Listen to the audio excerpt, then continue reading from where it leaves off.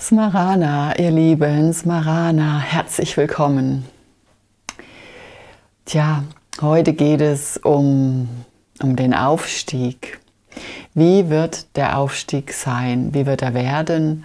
Und ähm, das ist jetzt schon das Thema seit einem ganzen Tag. Die geistige Welt möchte einfach, dass ich mit euch darüber nochmal klar im Klartext spreche denn äh, die geistige Welt spürt, dass es ziemlich viel Verwirrung gibt und äh, die Menschen so ja durcheinander sind einfach.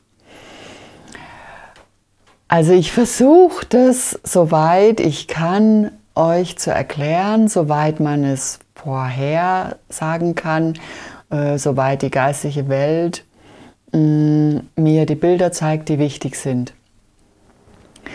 Und ähm, ich, bin, ich bin echt selbst gespannt, weil ich kenne ja viele Vorhersagen von früher, die stimmen alle nicht mehr so richtig. Ja, warum stimmen die jetzt nicht? Weil sich die Zeit einfach verändert, weil sich die Zeitqualität, die ist, ist ja, steht ja nicht still, sondern ähm, die ist laufend in Energie, ist lebendig und die lebt und die passt sich an und ähm, ist immer wieder anders. Und deswegen äh, muss man da nochmal neu hinschauen. Vor allen Dingen, weil wir ja jetzt gerade eben in der Aufstiegs, nicht, nicht, nicht in der Aufstiegsphase, sondern weil wir jetzt gerade in der Übergangsphase sind. Also wir sind noch nicht in der Aufstiegsphase. Das kommt erst noch.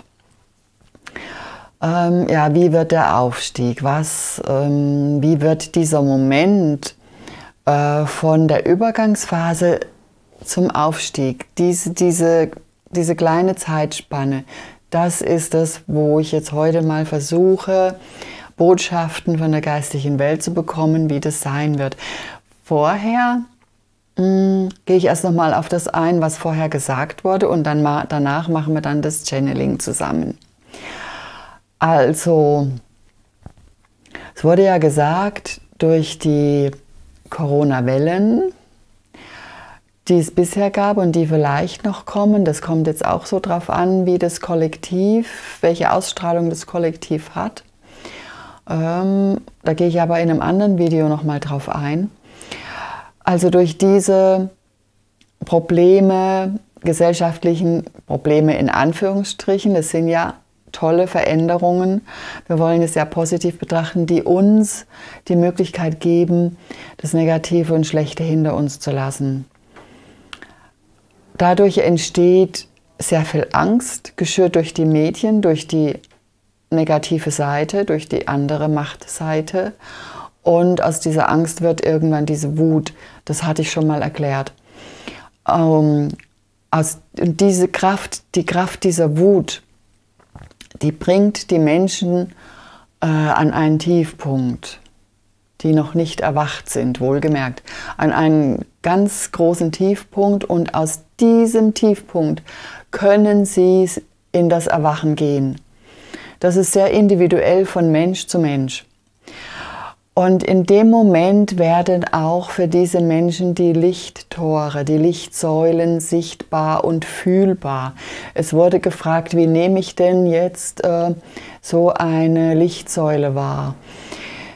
Das kann man nicht beschreiben, das ist einfach dieses Gefühl, was entsteht, wenn du ähm, plötzlich entdeckst, wenn du am Erwachen bist, wenn du plötzlich entdeckst, dass es ja noch viel mehr im Leben gibt, dass, dass jetzt das Leid oder dieser Druck, den du durchmachst, wo du denkst, ähm, du kannst nicht mehr existieren, wo du denkst, es bricht alles zusammen. Also so ein Moment, stellt euch vor, ist ein ganz, ganz, ganz schlimmer Moment. Und dann kommt kommt plötzlich dieser Lichtblick und du weißt, jawohl, ich gehe jetzt den anderen Weg ich wende mich dem Licht zu und in dem Moment zeigen sich die persönlichen Lichttore, die Lichtsäulen, wo du hindurchgeführt wirst von deiner Seele. Das geschieht dann ähm, durch die Impulse, die du bekommst und durch deine Entscheidung, das da durchzugehen. Das ist das, was ich in Zusammenhang bringen wollte mit den Aussagen äh, der Lichtsäulen und der Wut. Also das sind ja auch jetzt alles nur Bilder. Diese Wut ist ein Bild von einer ganz großen Verzweiflung, ne? von einem in einem Lebensabschnitt, wo du echt ganz unten bist und nicht mehr weiter weißt. Das kann jetzt nicht nur äh, durch die Corona-Krise hervorgerufen werden, sondern das kann auch durch andere Ereignisse früher in deinem Leben schon eingetreten sein. Dieser große Impuls, dieser große Schub zum Erwachen, zur Ausrichtung, zur Neuausrichtung auf das Licht. Das sind also die Dinge, die jeden Menschen ereilen werden. Und dann kommt es darauf an, wie sich der Mensch entscheidet. Der freie Wille ist immer noch da, der wird auch bleiben. Und in dem Moment äh, kann man sich also entscheiden, durch die Lichttore zu gehen oder in der Verzweiflung und in der Leidensphase hängen zu bleiben. Das muss man sich, darüber muss man oder sollte man sich klar werden. Eine Leidensphase ähm, ist ist ein Werkzeug der äh, Gegenseite. Die Leidensphase bringt dich ja sehr ins Negativ und hält dich da fest. Und all diese Dinge sind Machtwerkzeuge der Gegenseite. Und äh, kein Mensch, für keinen Menschen ist es vorgesehen zu leiden. Das entspricht nicht dem göttlichen Plan. Das entspricht überhaupt nicht dem göttlichen Plan. Aber es ist der Plan der Gegenseite.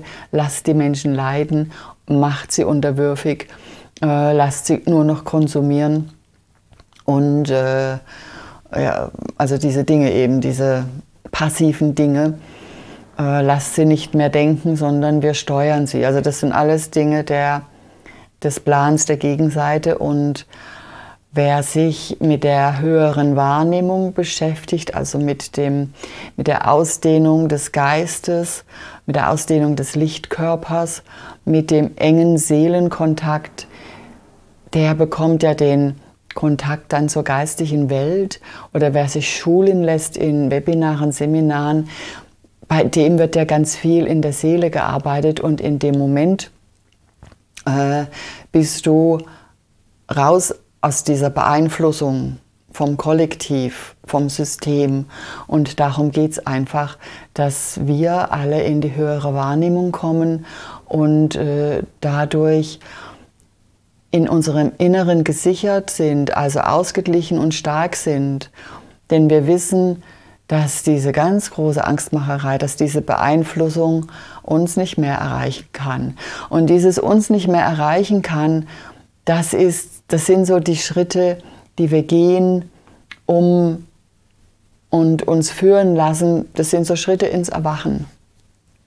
Habt ihr schon mein schönes Hintergrundbild gesehen? Ja, habt ihr schon, ich weiß. Ähm, ich fand es so passend jetzt, wenn das Licht ähm, dann auf der Erde ist und immer noch mehr hochsteigt, sich verbindet mit dem Licht des Universums, dann entsteht so eine wundervolle Aura der Erde. Die Erde hat ja sowieso eine blaue Aura und ähm, wir sind dann da mittendrin und wir sind, wir fühlen uns total wohl und glücklich. Wir sind dann, wenn der Aufstieg vollzogen wurde, wenn wir also durch diese Lichttore gegangen sind in der anderen Dimension. Wir, haben, wir leben dann auch auf der Erde, aber in der anderen Dimension. Die Menschen, die hängen geblieben sind, die also nicht aus der Leidensphase herausgegangen sind, die bleiben in der unteren Dimension auch auf der Erde, aber man sieht es und trifft sich nicht. So sind die Bilder, die jetzt äh, da kommen und äh, man kann als Lichtarbeiter bewusst dann in die unteren Dimensionen wohl hineingehen und Kontakte pflegen, aber es ist für die, die unten sind, die brauchen einfach eine Hilfe, um dann auch noch nachträglich zu kommen. Das ist möglich. Aber es ist wirklich tatsächlich die, die freie Entscheidung eines jeden einzelnen Menschen. Jetzt fragt ihr sich ja, wann wird das soweit sein? Diese Zeitfragen sind sehr schwer zu beantworten. Es war ja, es wurde ja mal gesagt, 31.12.2012.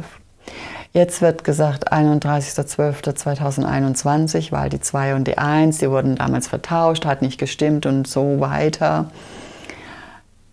Man kann dafür kein äh, zuverlässiges Datum festlegen, weil die Energien sich ständig anpassen an die Gedanken des Kollektivs.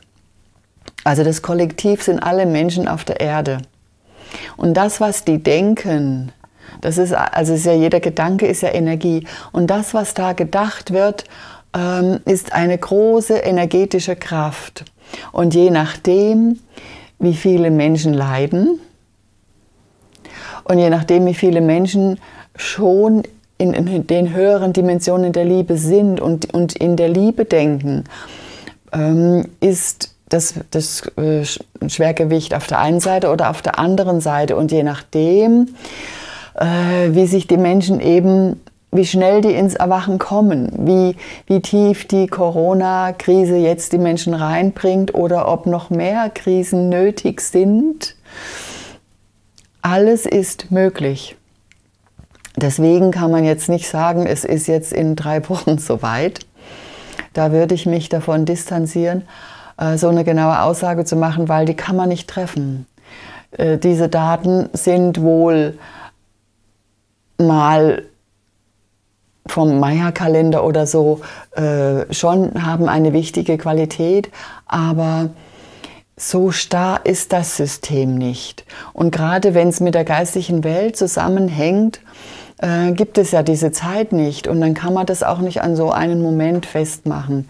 Das ist jetzt meine Wahrheit, mein Empfinden. Ihr müsst es für euch prüfen, wie, was das mit euch macht, wie ihr dazu steht, ob das ähm, für euch auch gültig ist. Ich wollte es euch jetzt nur mal so erklären, wie ich das also immer empfinde. Ja, und jetzt hören wir die geistliche Welt zu diesem Thema. Wie wird ähm, der Aufstieg sein? Und ich bin so gespannt, was gesagt wird. Oh Gott, und ich bin total aufgeregt. Ja, jetzt sprühe ich mich aber erstmal ein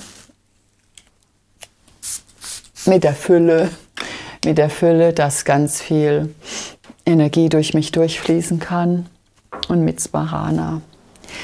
Smarana. So. Oi.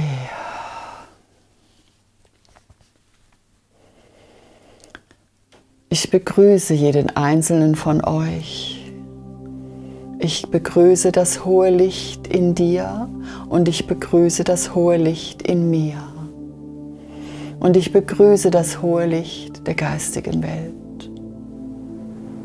Und ich bitte um den Raum des Schutzes für uns alle, sodass wir die reinsten Botschaften der höchsten göttlichen Liebe jetzt und heute in diesem Moment empfangen dürfen.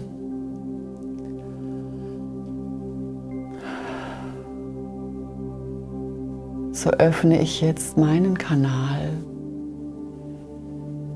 und ich rufe die Lichter der weißen Bruderschaft herbei. Ich rufe die Lichter und die Liebe der weisen Wesen der Bruderschaft. Und diese Energie zieht jetzt, sie zieht jetzt ein, hier in diesen Raum und bei dir zu Hause. Deine Räumlichkeiten füllen sich mit der vollkommenen göttlichen Liebe der weisen Bruderschaft. Es ist ein erhebendes Gefühl zu wissen, dass wir alle jetzt verbunden sind, tief verbunden mit den Dimensionen der Liebe der weisen Bruderschaft. Und ich bitte um die Botschaft, um eure Worte, die uns verstehen lassen, was geschehen wird wenn es soweit ist. Von dem Moment des Übergangs in die neue Zeit.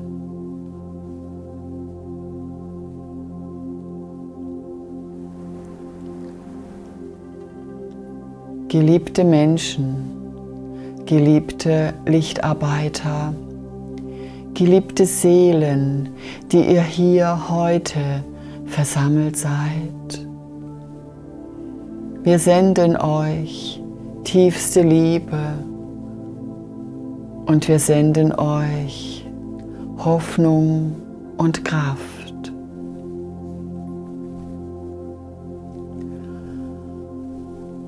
Die Energien werden von uns ständig beobachtet. Alles, was auf der Erde geschieht, wird von uns notiert und in der Akasha-Chronik der Erde festgehalten. Wir achten darauf, dass es, soweit es möglich ist, alles in Harmonie mit dem göttlichen Plan geschieht. Es ist die große bedingungslose Liebe, welche dich gerne leiten möchte durch diese aufregende Zeit. Und so raten wir dir,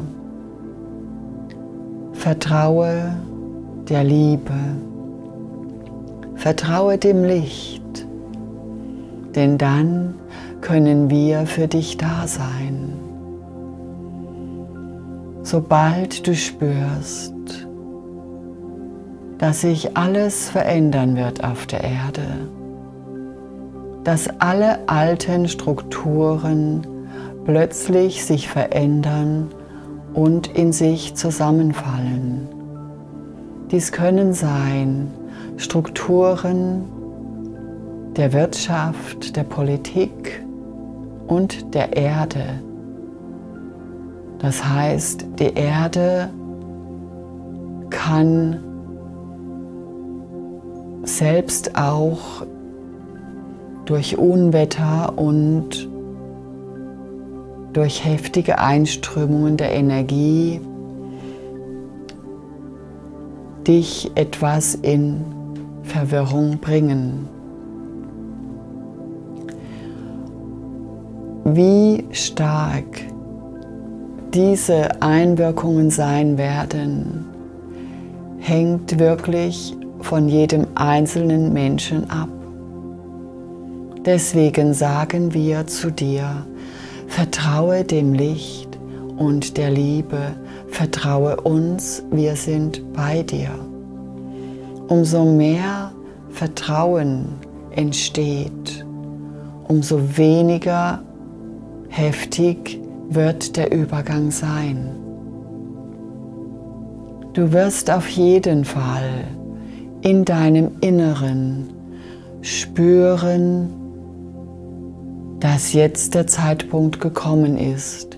Diese Impulse kommen von deiner Seele und sie, die Seelen, sie sind mit uns verbunden. Und wenn es soweit ist, spürst du diesen Impuls. In diesem Moment gehe in dein Herz. Gehe in deine Mitte, richte dich über die Liebe aus und verbinde dich mit uns, der weisen Bruderschaft. In dem Moment reichen wir dir schützend unsere Hände und führen dich durch das Tor hindurch, durch das Tor in die neue Zeit. Und zwar führen wir dich dahin, zu all diesen Dingen, welche du dir manifestiert hast. Wir führen dich dorthin, wo diese Dinge manifestiert sind, welche alle Menschen gleichzeitig manifestiert haben. Deswegen ist jeder einzelne Mensch sehr wichtig. Jeder Gedanke jedes einzelnen Menschen kreiert die neue Welt, die neue Erde. Und sobald du durch dieses Tor gegangen bist, verlässt du die Dualität. Du gehst hinein in die Glückseligkeit. Du gehst hinein in die Dimension, wo alles in Liebe geschieht. Wir werden dich empfangen und das, was auf der Erde geschieht für die Menschen, für diejenigen, die sich nicht entscheiden mitzugehen, wird sehr schwer sein. Es wird nicht leicht zu ertragen sein. Wir empfehlen dir dies zu akzeptieren, denn es wird auch für die Zurückgebliebenen immer wieder die Möglichkeit geben, nachzukommen. Und so ist es dein Weg, denn du bist, wenn du diesen Impuls fühlst, bereit, diesen Schritt zu gehen. Und es ist immer deine Entscheidung zu gehen.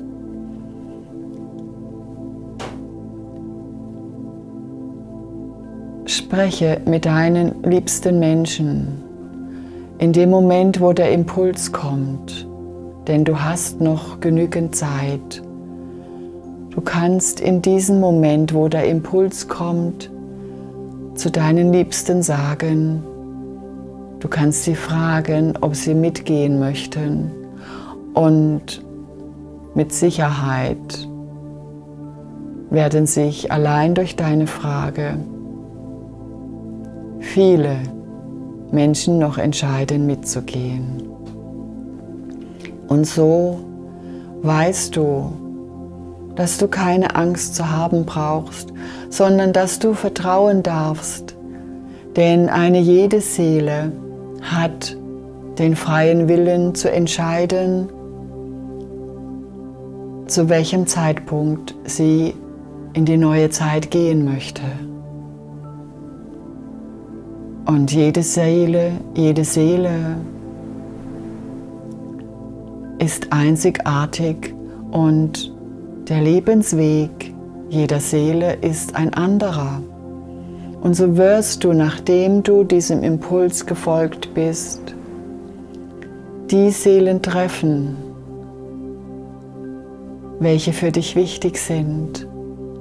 Und du wirst so ein Glücksgefühl empfangen, fühlen, haben, wie du es noch nie zuvor gekannt hast. Denn es wartet dort deine Seelenfamilie auf dich, die Mitglieder, welche sich zuvor besprochen hatten, sich da zu treffen, wenn sich alles ändert. Und aus dieser großen Kraft deiner persönlichen Seelenfamilie wird so ein riesiges Feld der Liebe entstehen, der Liebe und des Lichtes. Und dieses Feld könnt ihr gemeinsam auf die Erde zu den Menschen senden, welche sich noch nicht entschlossen haben mitzukommen, welche noch in der Leidensphase sind. Und über dieses Feld könnt ihr mit den Menschen sprechen, die euch wichtig sind, von denen ihr euch wünscht, dass sie auch zu euch kommen. Ihr seht also, alles ist möglich. Alles, was in der Liebe geschieht, wird die Kraft der Wunder herbeirufen. Alles, was in Licht und Liebe geschieht, ist in Harmonie mit dem göttlichen Plan.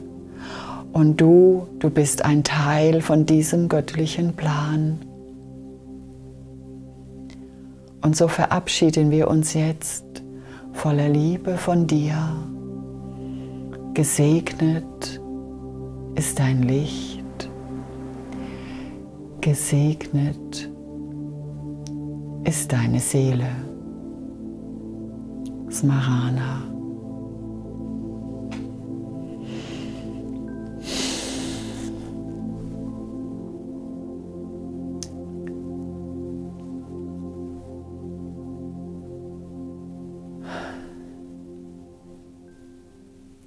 Ich weiß jetzt gar nicht, was ich sagen soll.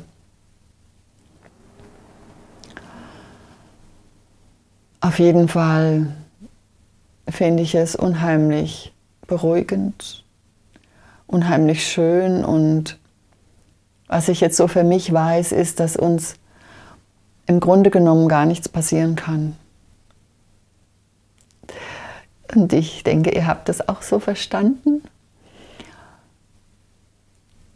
Und ich danke, ich danke der Weißen Bruderschaft für diese Botschaft, für die wertvollen Erkenntnisse und ja, für das Vertrauen, was jetzt dadurch entstanden ist. Und ich danke euch, dass ihr zugehört habt, denn jetzt tragt ihr auch dieses Vertrauen in euch und ihr wisst, es wird alles gut. Und wir gehen da durch, wann auch immer das so sein wird. Und wir haben es in der Hand, wir können mit unseren Gedanken die Geschehnisse steuern. Das ist das ganz Wichtige. Aber das wisst ihr ja. Dann sage ich jetzt einfach, alles Liebe für euch. Ich habe euch so lieb. Habt eine schöne Zeit und bis zum nächsten Video. Bis dann.